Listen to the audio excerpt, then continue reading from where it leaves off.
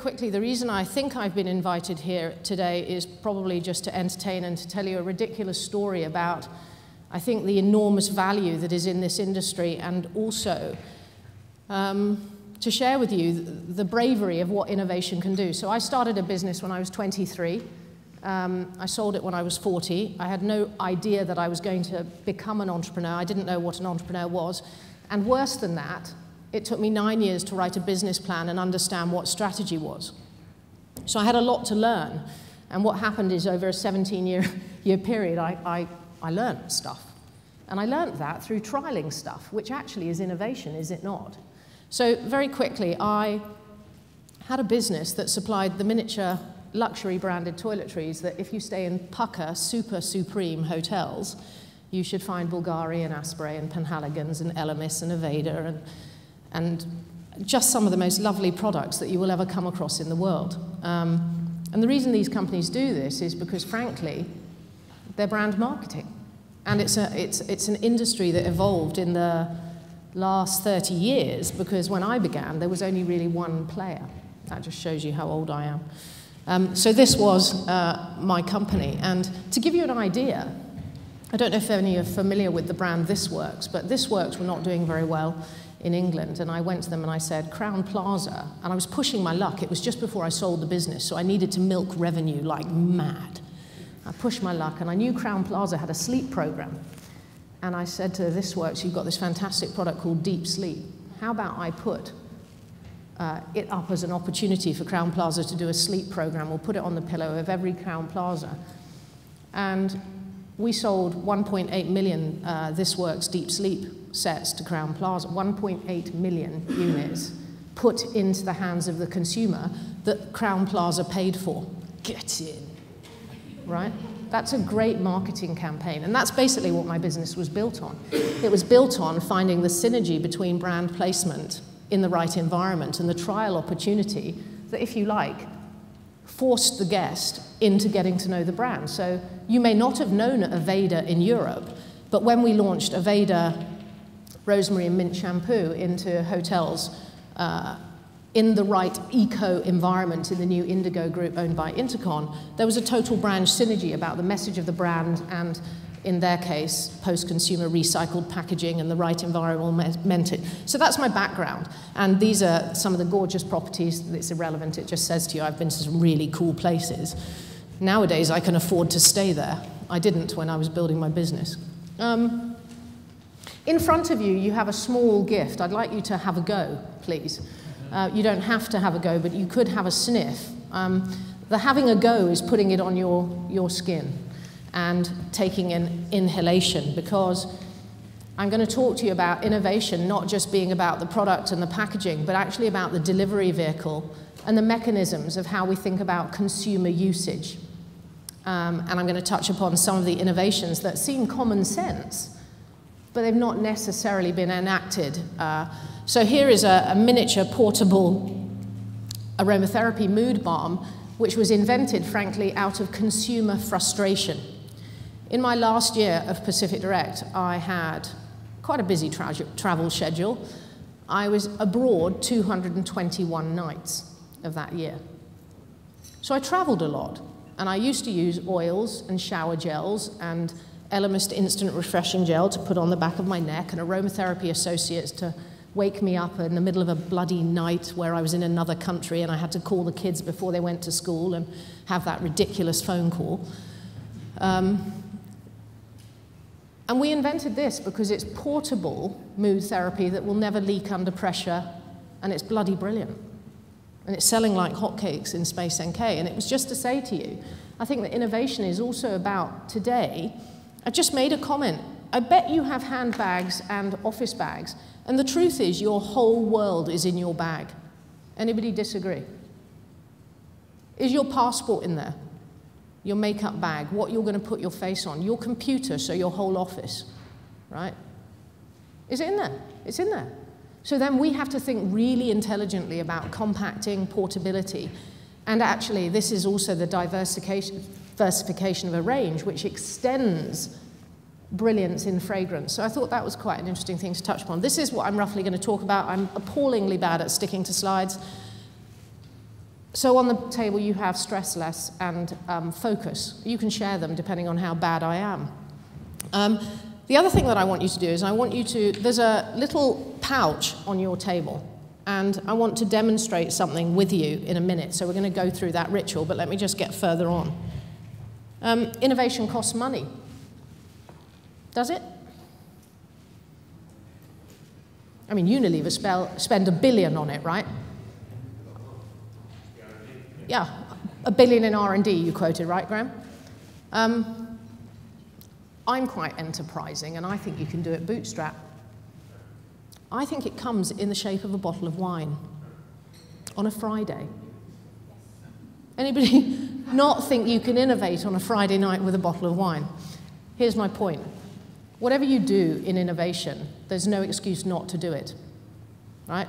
I, I sometimes talk on fast business growth in SMEs, and in, in England, we have a city called Birmingham, and you can fly to 28 places in Europe for less than you can get the train to London.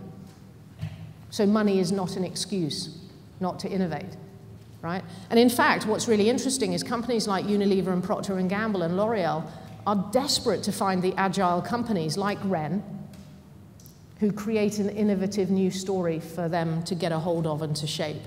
So I think there's a really important story in, in thinking about how much you allocate to innovation and, and actually treating it as an asset in your company because if you can treat it as an asset, in the end, when the giants start looking at you because you start to get a bit annoying, which is what I intend to do with my companies, enough annoying for them to talk, then you've got something really powerful because it's a new story and you've taken the market in a new way.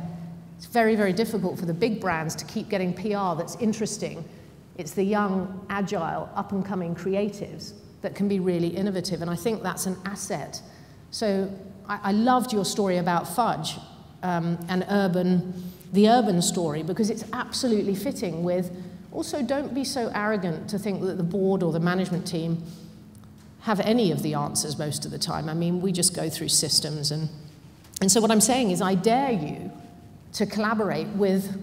I, I loved your story about the lady who's take that stylist and I've written down who can I find to align to my organic brand, someone that can do that for me. And I hope that's what you guys are going to take away in your tangential thinking.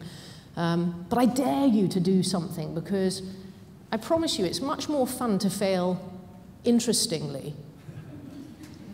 Does that make sense? Yeah, you like it, right? I, would much rather laugh at myself for having tried than never have tried at all. I mean, I'll tell you something, actually, I'm just going to. Actually, on your tables, you have a picture of the Scentered brochure. Can you see the swan? There's a swan, right? I kid you not, he's called Sydney. I have a pond, and on it is a swan, and the swan is called Sydney. This is a true story. And we were taking pictures of Scentered out in my garden because I'm a cheapskate.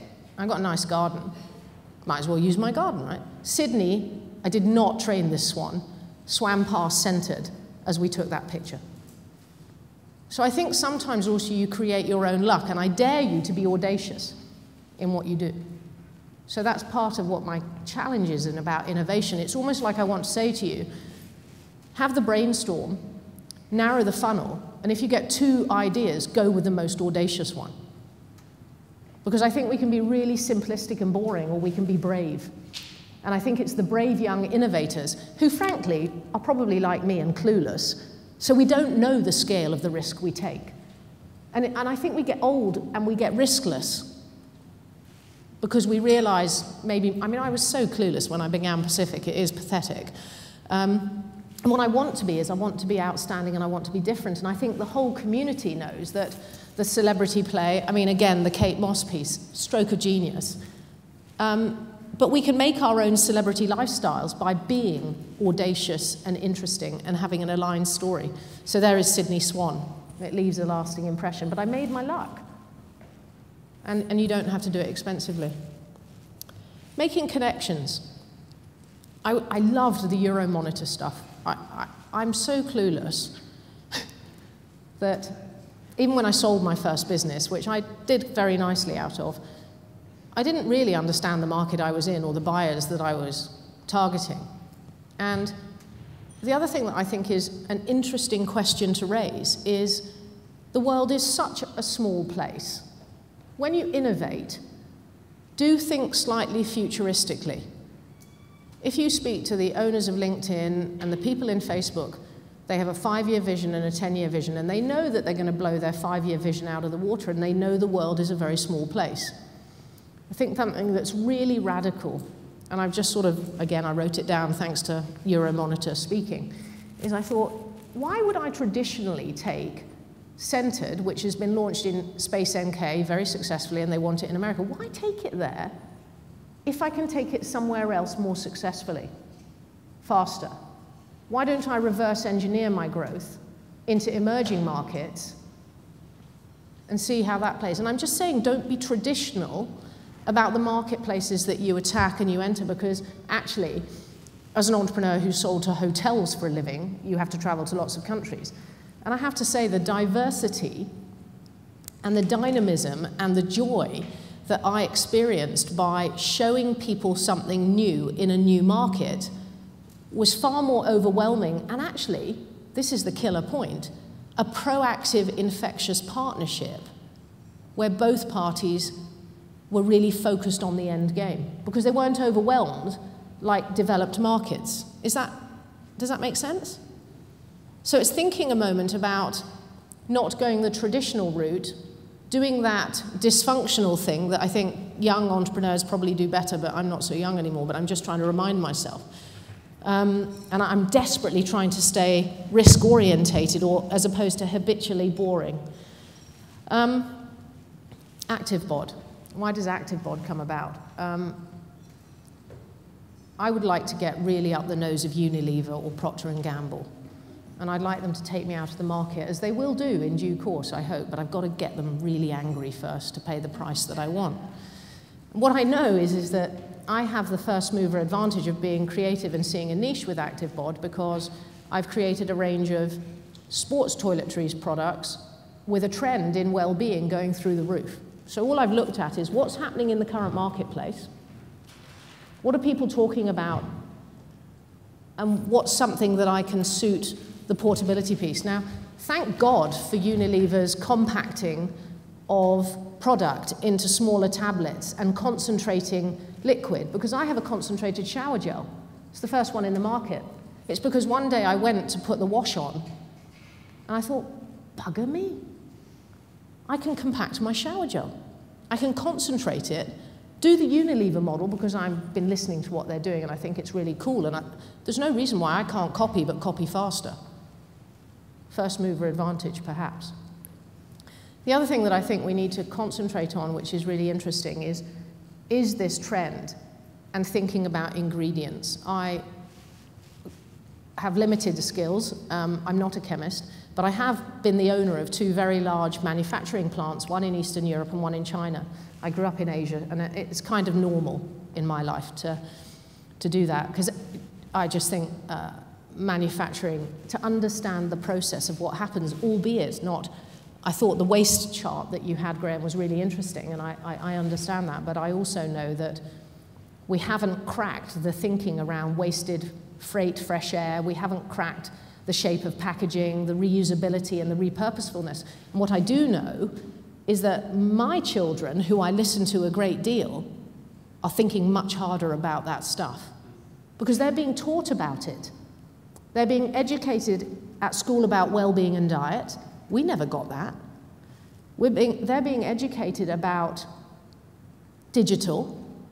I go to them to get help. It's embarrassing. I bet you do it too. How do I do this, Katie? Thank God for 16 and 14 year olds.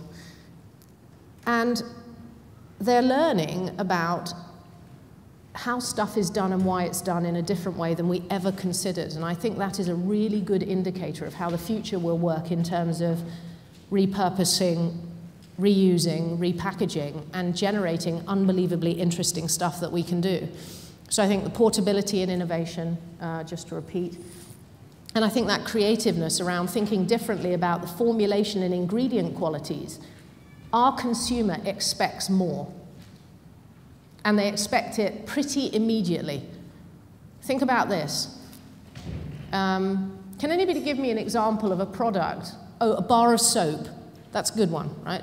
A bar of soap used to wash. How many different wash products have we today?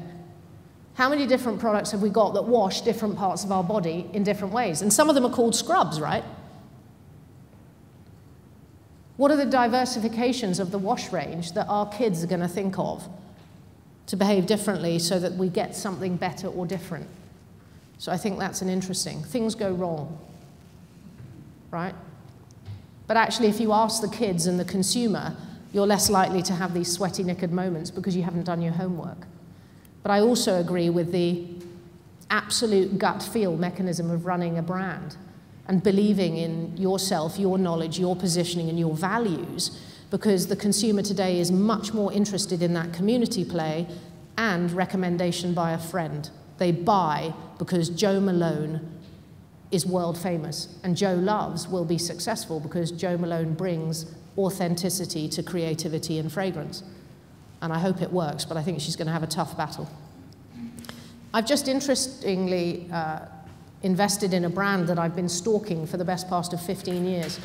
Can you follow me, if possible? There's two of these on each table, so you will have to share, but frankly, I'm, I'm so excited to share this idea with you. Um, can you open this golden bottle, please? This is an 100% organic skin oil. You can do no damage. Even if you're getting chemotherapy, this product will work for you. Okay, so no contraindications. I think that's a really interesting connection with dealing with uh, stages in life. Please do this on your hand on one side. Please do that on the other. And then I want you to put the bottle down, pass it on to your mate, and then rub your hands together. Everybody getting there? Okay. Now, put your hands up to your face and sniff. I hope nobody feels revolted. Anybody like it? Like it? Okay. Innovation is also not about the packaging. It's not about necessarily the product. It can be about the ritual of when somebody uses and applies the product. My mother thinks I'm trying to sell you fresh air. Am I selling you fresh air? Or am I selling you the most valuable commodity in the world, which is a moment of time? So, how do you think about when your customer uses your product, how they apply it, what is the lastability, what is the quality of performance? Are you passionately going to demonstrate your customer your product so that they can demonstrate it to a friend because there's something more meaningful about something that happens. And of course, it's difficult with technology and, you know, in the spa environment, but I am not versed in that product area. And I think there's a really interesting trend changing about the compacting of the quality of product, not just the quantity. I read recently an amazing article coming out of Korea. Ironically, we were talking about Korea, and there's a skin range that's coming to the market and ironically, Spiezia, which is England's 100% Soil Association approved organic brand, has the same lack of water dilution in its ingredients. The problem, educating the customer that product feels slightly greasy. The answer, less is more. It goes further. But how do you educate the customer? That's a challenge. So we've been talking in Spiezia on the packaging about how to communicate how much to use when to use it. And I think the visualization of use, so in, in the spa industry, they say use a pea-sized, does that ring bells? Pea-sized drop. Is that an international understanding, right? Well, Spiezia's products are very much founded in oils, so we want to use probably an average, and we've had a ridiculous conversation about the size of an olive. I mean, do we even call it an average olive? But the point is, is it's also about deliverance. And I think if we can all help educate the consumer, we can do better with reducing waste and doing the right things. So, communication. Communication comes on the pack, it comes in the pack, it comes round the pack.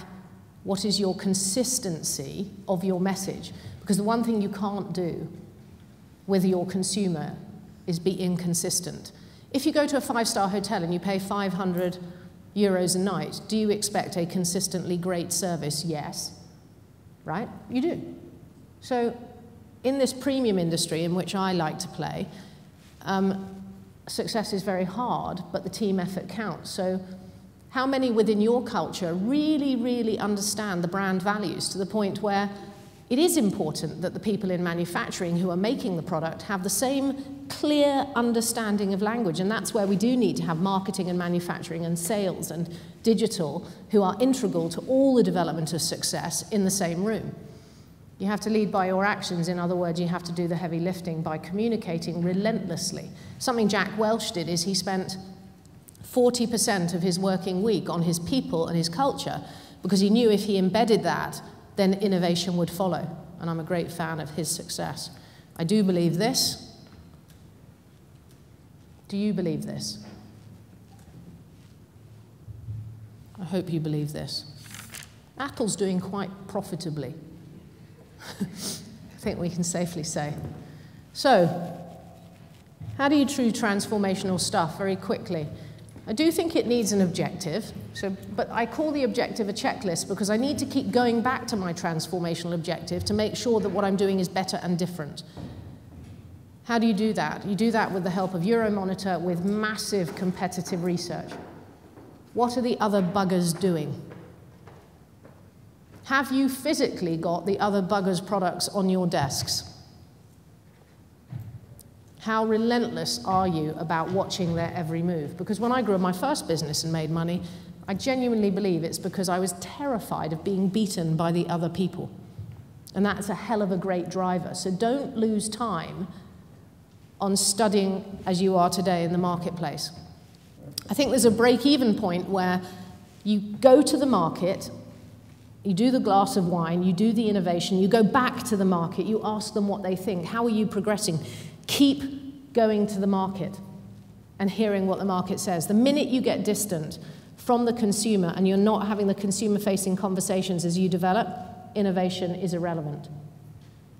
Invest in that. But it doesn't need to be paid for play. I'm not a great, I've seen some great stuff out of facilitated conversations, I've seen some great stuff out of market research, but actually, maybe it's good to get back to an old fashioned invite some contacts round a table. I think some of the most powerful contacts that you can have is supply chain partnerships, which Graham touched upon.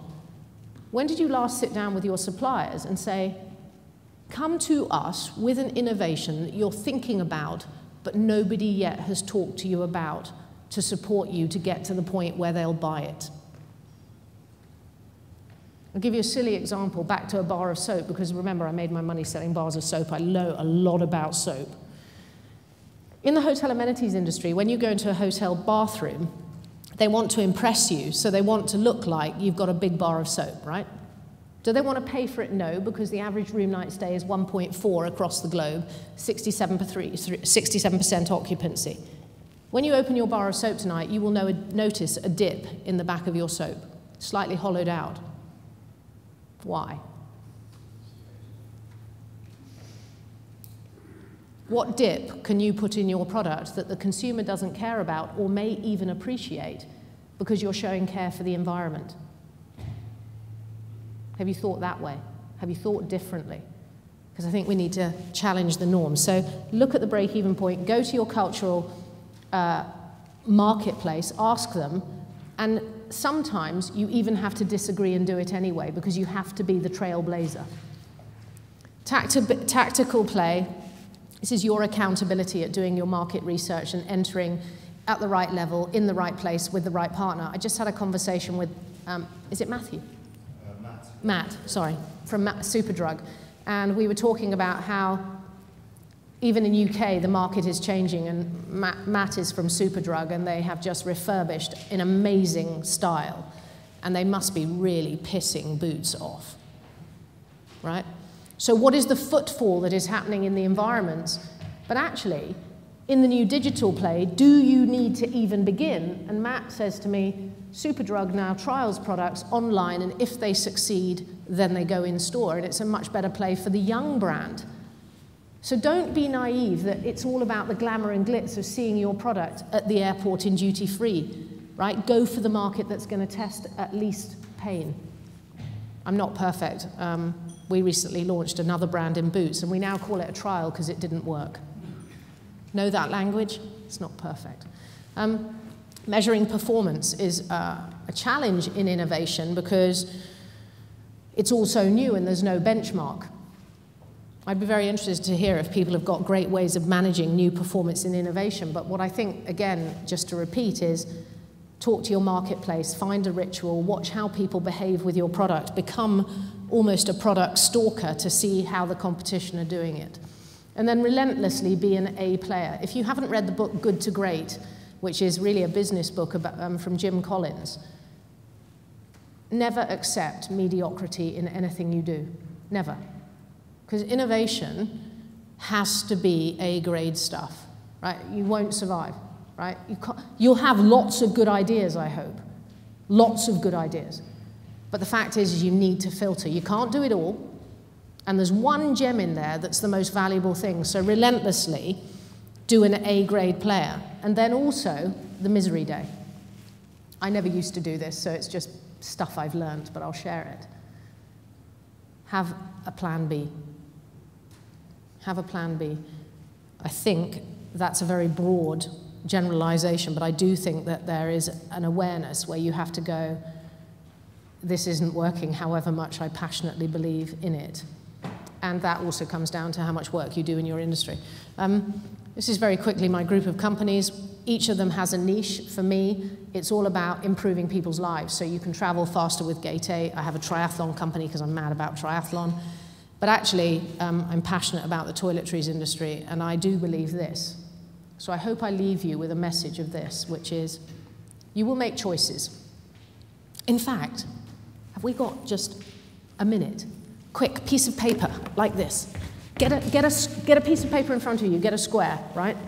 Can, can somebody, is there a pen for this board?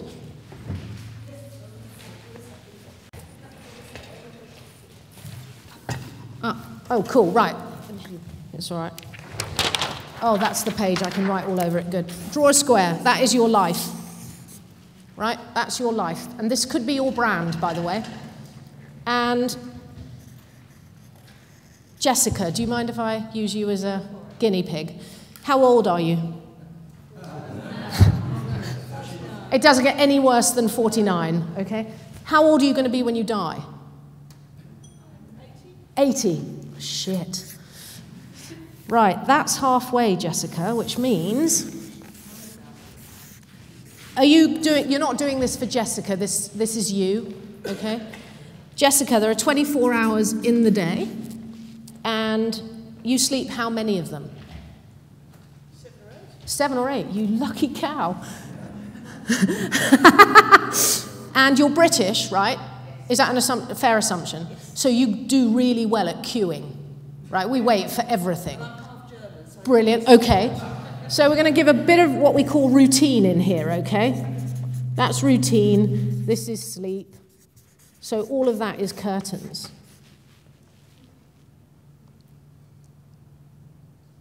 What's the word for this area of Jessica's life? Sorry? Past. Brilliant, that's exactly the word. That saves time. Thank you, Jack. And experience. Right, when do we do most of our learning in life? In traffic jams is one answer. Actually, we do it as a child between one and four, right? One and five, they say. Um, anybody familiar, your international audience, but in, in UK we say, when we go to a park, we say to our kids, don't talk to strangers. What do we do for the rest of our lives today? Hmm. So we have to do a lot of unlearning and retrialing in life. So I also have a challenge to you about today, which is don't spend more than 10 minutes with the same person or else you're not going to get around the room and everybody has something to offer. My next question is, what is that word? There is a hint.